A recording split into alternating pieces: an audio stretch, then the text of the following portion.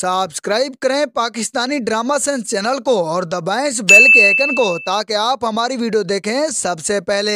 Video शुरू करने से पहले मैं आपको ये बता दूँ, ये वीडियो सिर्फ़ और सिर्फ़ आपके इंटरटेनमेंट के लिए होती है, ना कि किसी एक्टर या डायरेक्टर की बुराई करने के लिए। इसलिए इस वीडियो को ज़्यादा दिल पर ना लें। थैंक यू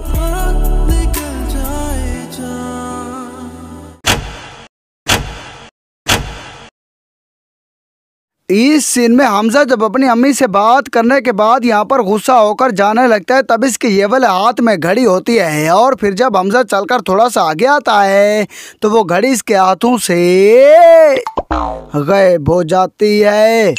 और फिर जब हमजा चलकर दिल नशीन के घर आता है तो वही गायब हुई घड़ी जादू से इसके हाथ में वापस आ जाती है। बहुत बड़ा मैमल जब अनसब के साथ यहाँ पर खड़ी होती है तब इसके ये वाले हाथ में घड़ी होती है और फिर जब मैमल चलकर यहाँ पर आती है तो इसके हाथ में कोई भी घड़ी नज़र नहीं आती।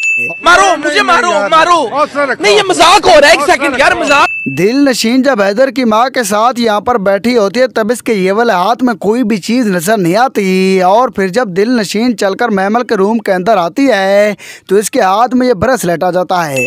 दिल नशीन जब महमल से बात कर रही होती है, तब इसके गले में कोई भी चैन नज़र नहीं आती। और फिर जब ये महमल को बैर छोड़ने के लिए आते हैं तो दिल नशीन के गले में ये चैन जादू से आ जाती है। भाई लोग, वीडियो पसंद आए तो उसे लाइक कमेंट और शेयर कर दो। ऐसी वीडियो मजीद देखने के लिए पाकिस्तानी ड्रामा सेंस चैनल को सब्सक्राइब करना ना भूलें।